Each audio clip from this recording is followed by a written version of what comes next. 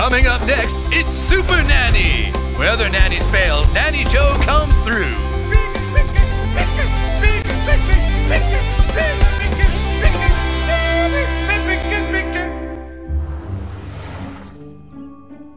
This child's behaviour is totally unacceptable. But there's no child too tough for Super Nanny.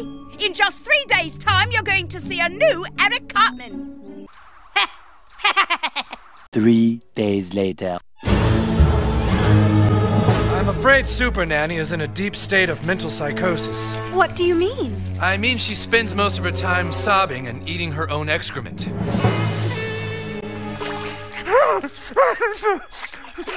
hell! It's from hell!